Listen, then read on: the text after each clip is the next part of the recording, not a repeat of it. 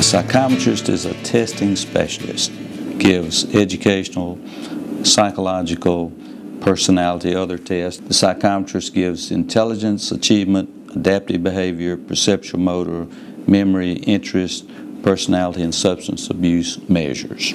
The counselors refer their clients to the psychometrist for evaluations.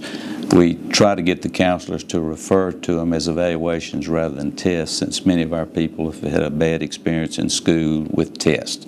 So we try to, as much as possible, refer to them when we're talking to the clients as evaluations of their strengths and weaknesses. Not every person they uh, have on roll has to be tested, but a large percentage do.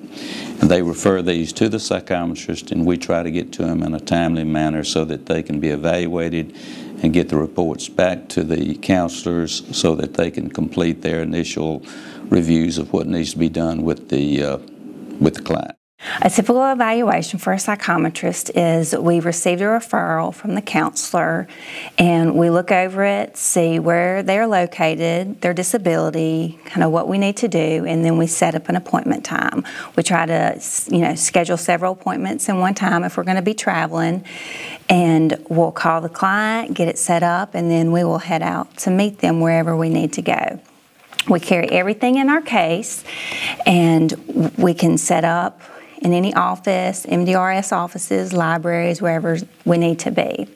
So we'll sit down and usually have the client sit across from us. That's where we like to have them is sit across from us at a table and we'll have all our paperwork ready for them to do. Once we start, we're just trying to build, establish a relationship or rapport with them.